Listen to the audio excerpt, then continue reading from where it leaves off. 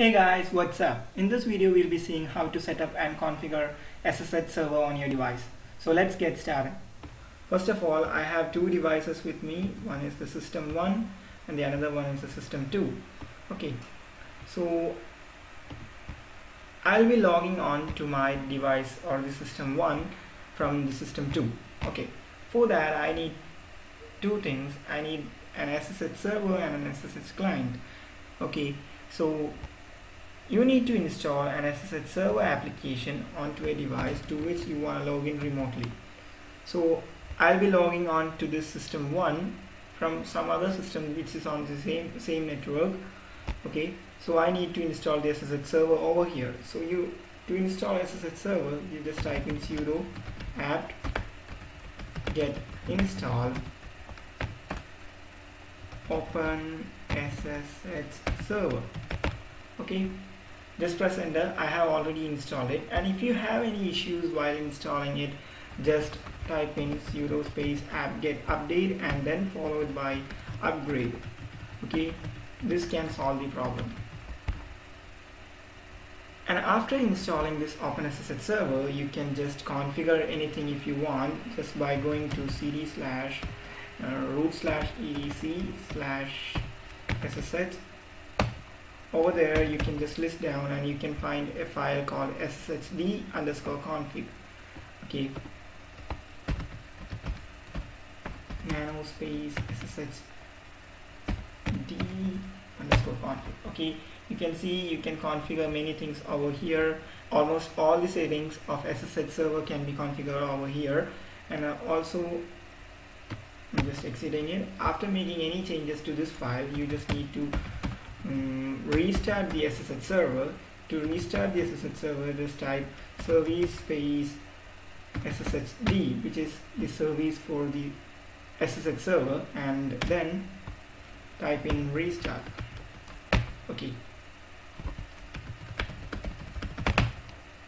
Just type the password. I'm not getting any errors or messages.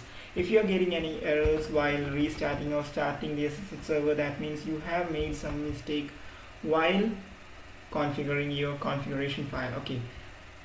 After doing this I can go into a device that is my system 2 which is connected with device uh, this system 1 through a network. Okay. The IP address of this system 1 is 192.168.10.1 and the IP address of this device is 192.168.10.2 okay so before getting started I will show you something. Just press W and press enter. You can see that system 1 this is system 1 not the system on uh, just because the character limitation has been logged on to your device. Okay this is the time and and all stuff. This is the basically this device itself. Okay the system 1 and system 1 okay. And now you can go on to your system 2 and in your system too in order to connect to an SSH server you need an application called an SSH client. Okay to install an SSH client you can type in sudo space apt get install open SSH client. Uh, you don't have to install this open SSH client most of the cases for Ubuntu because it comes by default pre-installed okay? So in order to use this SSH client and to log into this device you can just type in SSH followed by the username or the user to which you want to log in. So I just want to log into this system 1 as system 1 user okay? So I'll type in I'll be typing the username system 1 at 192.10. sorry 168.10.1 that is the IP address of my system 1 then I'll press enter. It will be asking me the password for this user.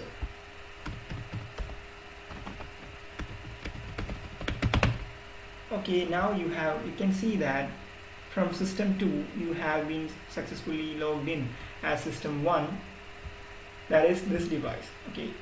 In order to ensure that you have successfully logged in just go to your system 1 and just press uh, type W and press enter. You can see that a new user system 1 itself has been logged in from this device. That is 192.168.10.2 that is nothing. That's my device. Okay. And you can open a new terminal. And over here just type the same. I log in as system 1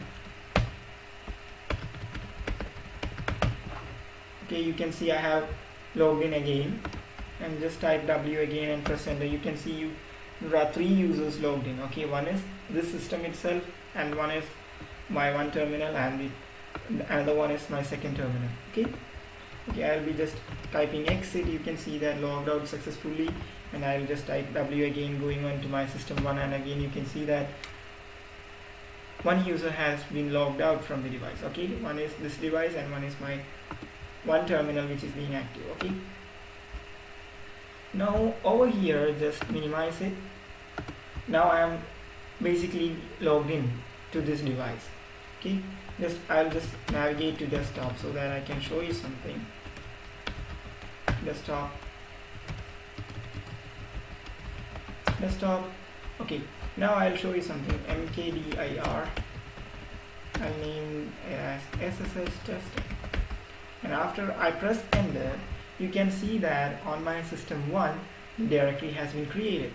Also I can so create a file over there.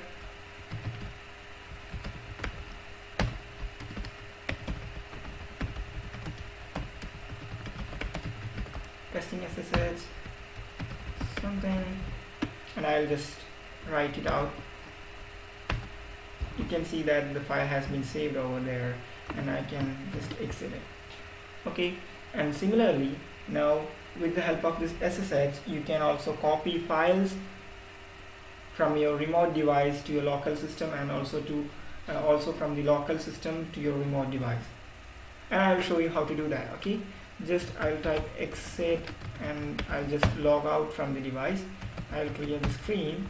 Okay SCP is the command used for copying files or moving files between the remote system and the local system. SCP stands for secure copy. Okay, and you can use uh, in order to copy. I have a text hello.txt on my desktop.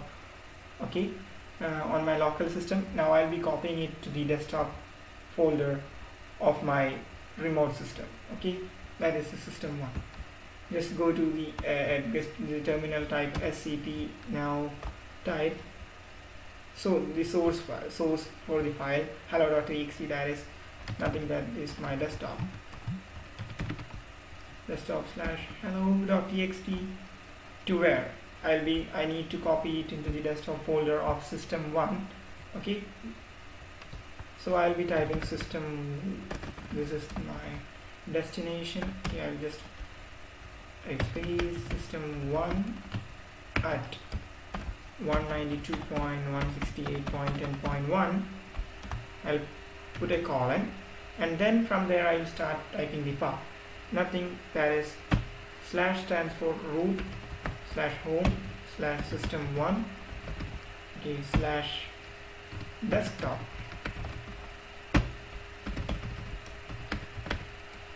Slash hello.txt okay that's it. And now press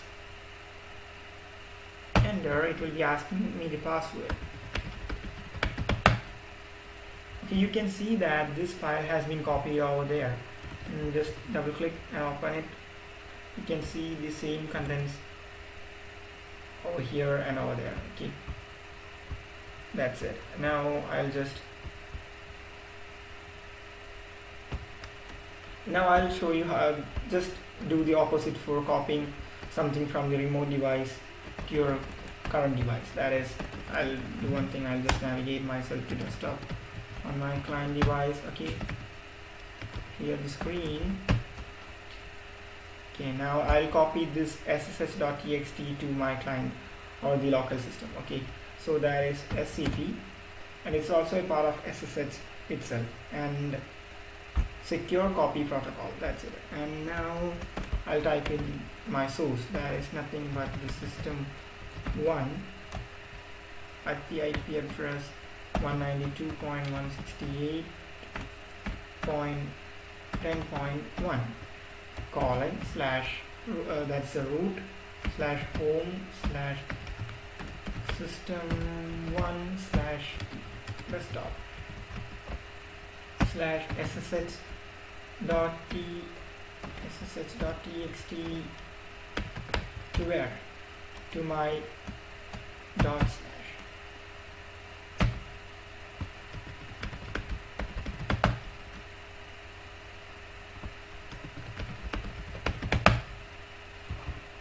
Okay I made a mistake while typing in the password. Okay. You can see that that file has been copied. Okay. I'll just delete it and show you again. Just type in this. And this is the current directory. Dot slash stands for current directory. That is I'm already in the desktop so I don't want to change or specify the path of or again so I just need to specify that it's the current directory copy to the current directory of the local system. That is scp source followed by the destination.